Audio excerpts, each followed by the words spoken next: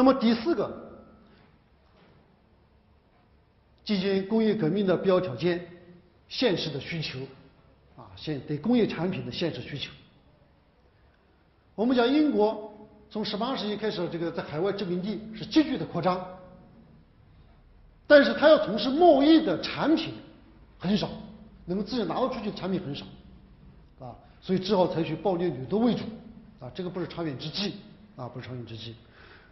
所以要想这个更好的在海外进行贸易，发生交换关系，自身的工业啊必须有所发展啊。所以很多商人提出这样的一个要求。那么第五个条件和其他国家相比，十八世纪英国是欧洲啊工业最发达的国家啊，但是也有人认为呢，这个法国呢可能超过它啊，或者我们叫它这个把握一点是欧洲。最发达的工业生产国之一，是最发达的工业生产国之一。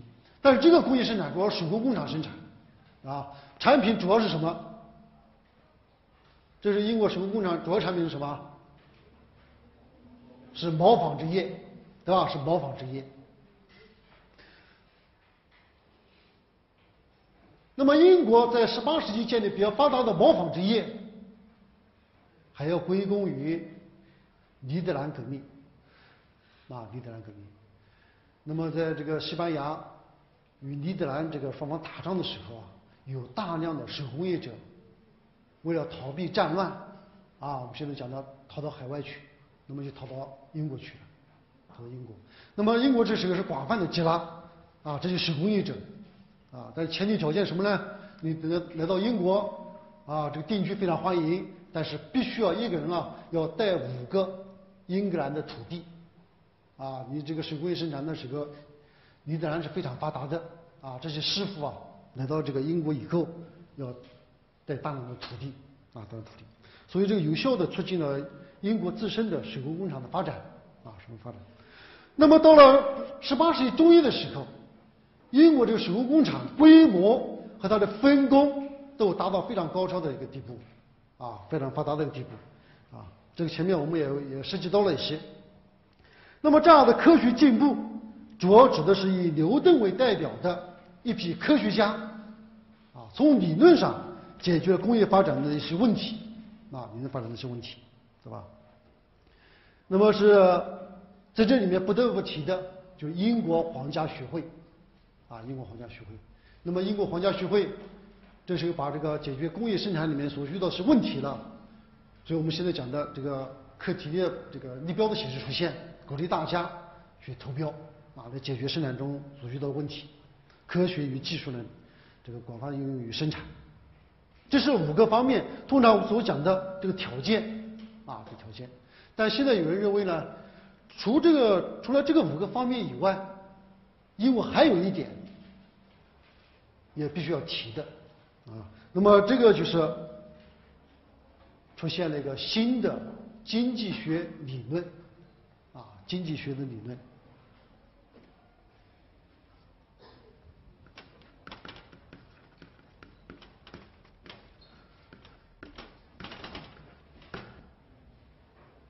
就在十八世纪以后啊，在英国以亚当·斯密为代表的，阐述了一个新的经济发展理论，我们现在称为古典经济学。在这个之前，指导英国、指导欧洲国家的占统治地位是什么样的一个经济学理论呢？哎，重商主义，啊，重商主义。那么和重商主义相对应的，啊，亚当·斯密在在他的书里面，啊，《国富论》这个书里面，他就阐述啊，国家的财富到底是什么？他认为经营的多少。不能够代表国家真正的财富的多少，啊，而是工业和农业生产的商品总和。古典经济学的这个里面，亚当·斯密为代表的《国富论》啊，他阐述了新的思想，代表国家财富的是工农业生产产品的总和啊，工农业生产啊，工农业生产的商品的总和啊，商品。啊，大家要注意是商品啊，所以为了增加这些财富，增加工业产品、农业产品。他认为呢，要倡导自由竞争，倡导自由竞争，反对过去的垄断，啊，反对过去的垄垄断。那么这样的一个新的经济学理论，为工业资产阶级，啊，为工业资产阶级啊，广泛的开展的经济活动提供了理论工具，啊，理论的一个根据。所以我们这个有人认为呢，还要加一条，就是。到十八世纪以后啊，出现了新的经济学理论，啊，经济学理论对英国能够最早进行工业革命呢，在理论上啊，为工业资产阶级提供了一个根据，啊，根据，啊，这是我们工业革命的前提和条件，在我们书上里面这个有些内容啊，这个有了，所以在这里稍微讲一下。第三个问题，工业革命的进程，啊，工业革命进程。那么关于工业革命的这个进程。也准备了这个简单的这个介绍一下，啊，工业革命我们讲最早是从棉纺织业开始，是吧？这个大家反正都知道，我们在这梳理一下。最早是从棉纺织机械的发明和改进开始的，啊，为什么最早从棉纺织这个行业里面开始？我们教材里面啊，这个已经做了一个介绍了，啊，这个分成几个，好像分成三点吧，来讲了这个为什么最早从棉纺织业开始。啊，分成四个方面来讲的，在九十八页啊，九十八页。如果从这个时间上来讲，啊，引起英国棉纺织机械这个出现发明潮的，是一七三三年凯伊发明飞梭，啊，凯伊发明飞梭，是吧？那么凯伊发明飞梭，主要是引起了织布行业。啊，织布行业发生巨大的变革。啊，织布，这个我们传统的这个织布，大家现在农村可能也看不到了，是不是？主要是把经线和纬线，把它用梳子把它穿插起来，是吧？形成一个布，土布，啊，土布。但是呢，这个是这个速度很慢，是吧？不能满足当时啊这个英国人啊或者欧洲人对棉布的这个需求。那么凯伊所发明的这个飞梭啊，主要在两头，这个用从这个机械的方式啊，这个来回的就穿梭去运动。但是这个这个飞梭为什么不作为工业革命的开始？为什么不能作为工业革命的开始？因为这时还是手工手工进行啊，还是手工进行。那么不管怎么样，这个飞梭的出现就造成英国当时出现了沙荒。纱不够，织布的速度快了，纺纱速度跟不上，所以在一八五一年啊，在一七五一年的时候，一七五一年，英国皇家学会向全国张榜啊啊张榜，这个说谁能发明啊同时能这个这个纺六根纱头的这样的机械，给予重赏啊谁能发明机械？能够同时呢，这个绑呢这个六根纱头啊，还要一个人操作，能够同时防六根纱头的，奖金是多少？五十英镑，啊，当时是个数字很大的，五十英镑。那时候人啊，这个一年的生活费也就一磅多一些，啊，给五十英镑啊，重赏啊，五十英镑重赏。我们要重赏之下必有勇夫，是吧？所以那时候这个。这个这个毛纺织业、棉纺织业，人们呢纷纷的埋头啊，在要搞这个这个这个纺纱的技术的一个变革。一七六四年，啊，一七六四年，哈格里夫斯啊，从一个纺纱机这倒下来的纺纱机啊，这个得到个启示啊，发明了真理纺纱机啊，真理纺纱机。那么这个真理纺纱机最初能同时纺。八根，啊，八根纱锤，啊，后来呢，这个这个又增加到十六根，啊，到十六、十八根这个纱锭，这个纺锤啊，能同时达到这个十六到十八。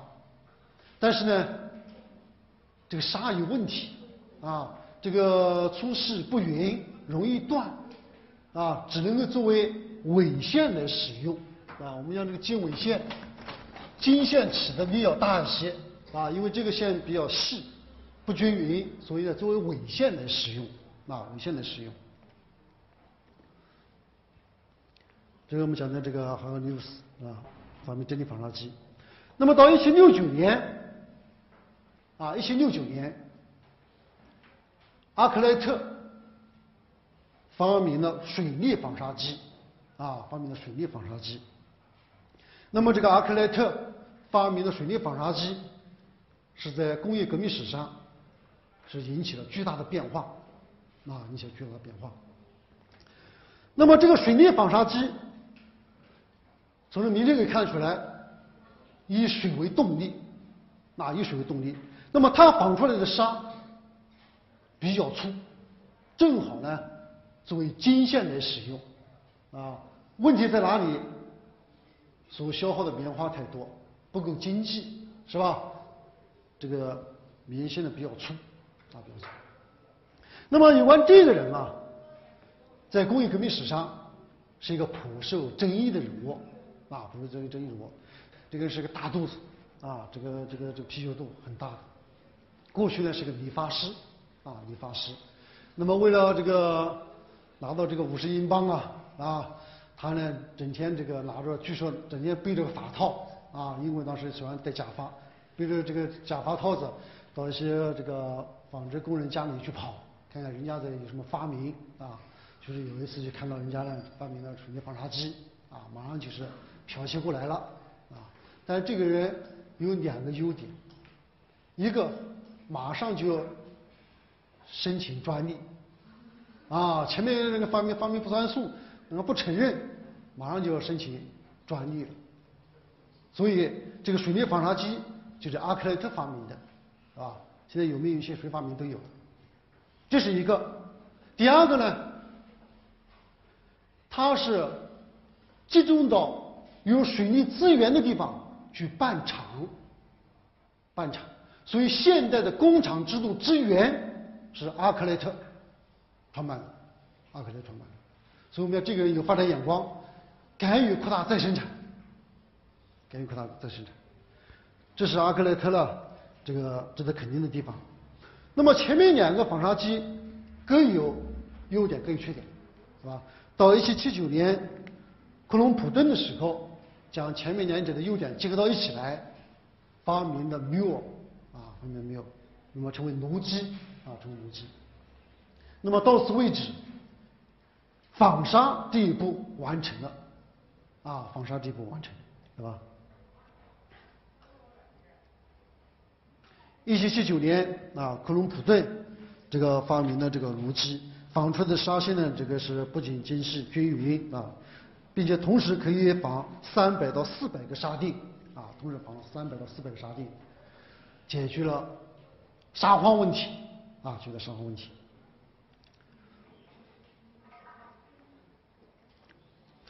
那么沙多了，织布速度跟不上，那么最终画上句号的是1785年卡特雷特又发明了水力织布机，啊，水力织布机。所以水利这这部机这个出现以后，人们穿衣问题在基本得到解决，啊，穿衣问题得到解决。所以从这个一七六四年到一七八五年，是花了二十多年时间，啊，花了二十多年时间，解决了纺织领域里面从手工生产到机械生产的一个过渡，啊，这个过渡。这是我们讲的这个机械行业，啊，这个机械行业，嗯。那么这个我们是看到这样一个场景的话，就基本上进入十九世纪以后了啊，这个纺纱厂啊、织布厂啊这样的一个场景啊，这样的场景。前面我们讲的是穿衣问题啊，穿衣问题，民以食为天。但是在十八世纪到十九世纪的时候啊，在十八世纪到十九世纪中叶的时候，英国人的生活面貌了。在其他方面也发生变化，啊，主要是日常生活里面，主要是使用的陶器的器皿发生变化。那么这里我们介绍呢，就是围棋五德，啊，围棋五德。那么围棋五德，过去我们里面不大讲的，但我认为这个人啊，对我们现在来讲呢，有很大的参考价值、参考意义。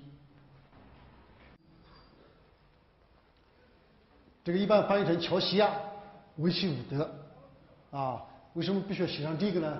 现在有个公司叫维奇伍德公司，啊，维奇伍德公司，这是世界上生产陶瓷最顶尖的一个企业，啊，它生产的这个产品啊，这个碗也好，盆也好，在我们国内都是几百块钱一个的，啊，甚至一般好一点都是上千块钱一只。那么这个人生卒年在一七三零年到一七九五九五年，没有高寿，六十五岁去世。一七五九年的时候创办自己首家陶瓷工厂。那么这个这个人啊，实际上是他的父亲、他的哥哥都是生产陶的，啊，生产陶啊陶制品，陶制品。生产在这样一个啊生长在这样一个家庭环境里面，那么他呢，这个也从小耳濡目染。就是他九岁的时候就开始进入他的家庭这个家族企业啊，家族企业。但是呢，他这个天生啊有一个问题，他小时候患过小儿麻痹症，他这个腿啊不行啊，他的右腿啊这个这个起不到力。那么那个时候要这个生产陶要用陶轮，这个陶轮要用脚来踩，是吧？所以他天生的不能作为陶工去使用，就是他实际生产不行。是吧？所以他转而干什么呢？